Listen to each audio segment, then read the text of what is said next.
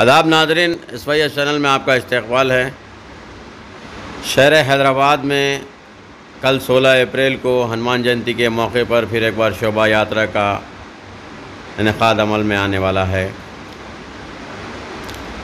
इसको मद्देनज़र रखते हुए Hyderabad CP Shri C V Anand IPS और the, joint CP DS Chauhan IPS ने शहर हैदराबाद का जायज़ा लिया और मुख्तलिफ़ हिंदू तंजीमों से मुलाकात की और अपने मातहत पुलिस ऑफिसर्स को ब्रीफिंग की। आइए दिखाते हैं इसकी एक रिपोर्ट।